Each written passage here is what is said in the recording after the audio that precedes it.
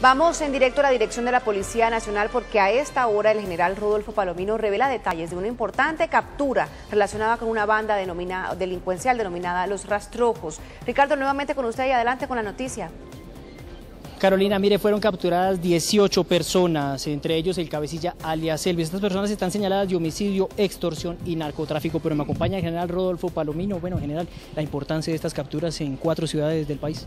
Es un resultado muy importante que se logra con el esfuerzo, el compromiso de la Fiscalía General de la Nación, con quienes adelantamos una noticia criminal que nos permitió develar lo que podemos denominar como una tercera generación de delincuentes, delincuentes que venían precisamente eh, generando extorsiones, intimidación incluso a sus propios militantes dentro de esa organización. Y aquí hay algo muy grave, que este bandido alias Elvis que digamos fue el heredero de alias eh, Guerrero, que a su vez era el heredero de, Diego Rastrojo, este individuo logra generar como una organización criminal en la que está vinculando a jóvenes, hombres y mujeres, para instrumentalizarlos como sicarios.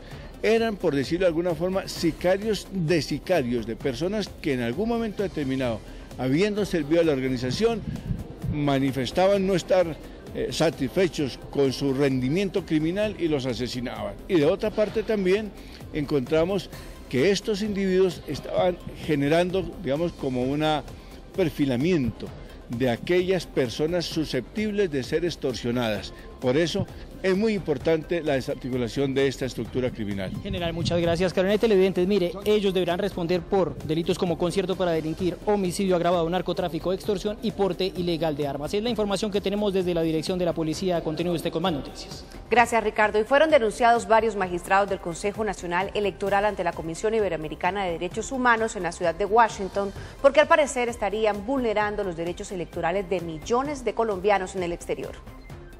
Varios magistrados del Consejo Nacional Electoral fueron denunciados ante la Comisión Interamericana de Derechos Humanos en Washington porque al parecer estarían vulnerando los derechos electorales de millones de colombianos en los consulados de varios países. La denuncia fue hecha por el candidato a la Cámara del Partido Conservador, Zoilo Nieto. Nieto sostiene que el sistema electoral colombiano presenta irregularidades porque presuntamente algunos magistrados del Consejo Nacional Electoral se estarían robando las elecciones, por lo que acudirá a instancias internacionales para solicitar medidas cautelares que garanticen el derecho al voto de los colombianos. Este es el segundo político colombiano en acudir a la Comisión Interamericana de Derechos Humanos para garantizar los derechos políticos. El primero fue el alcalde de Bogotá, Gustavo Petro, quien por ahora tiene ganada la batalla jurídica luego que un juez ordenó al presidente de la República restituirlo y acatar las medidas cautelares emitidas por la CIDH.